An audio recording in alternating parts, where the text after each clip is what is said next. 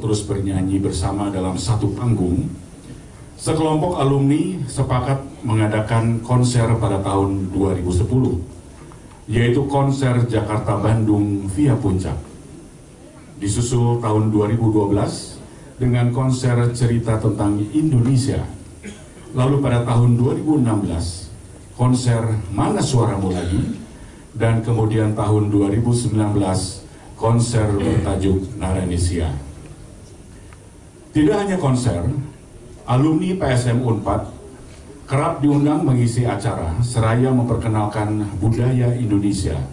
Di antaranya Indonesia Week di Shanghai, Republik Rakyat Tiongkok pada tahun 2017 dan tahun 2018 serta di Warsawa dan Torun, Polandia pada tahun 2019. Malam ini kami, alumni Paduan Suara Mahasiswa Universitas Pajajaran, akan mempersembahkan kepada Anda konser ketika kita ngaku kuliah.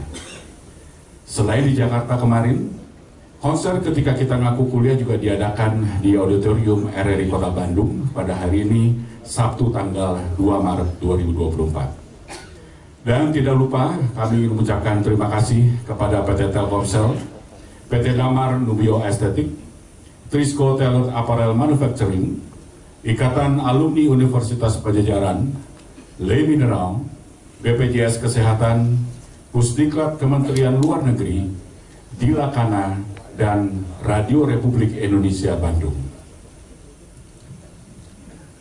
Baiklah, hadirin sekalian, terimalah persembahan kami, alumni Paduan Suara Universitas Pajajaran, ketika kita ngaku kuliah.